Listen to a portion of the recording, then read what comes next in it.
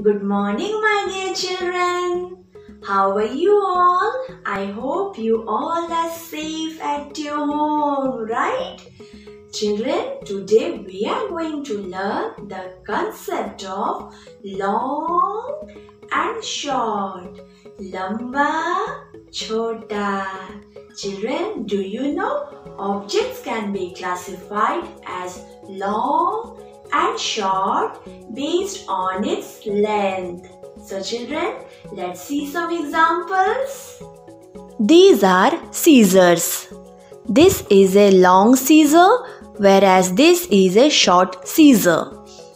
These are scales. This is a long scale whereas this is a short scale. These are hammers. This is a long hammer whereas this is a short hammer. These are knives. This is a long knife whereas this is a short knife. Long knife, short knife. This is a pencil and this is an eraser. This pencil is long whereas this eraser is short. Long pencil, short eraser.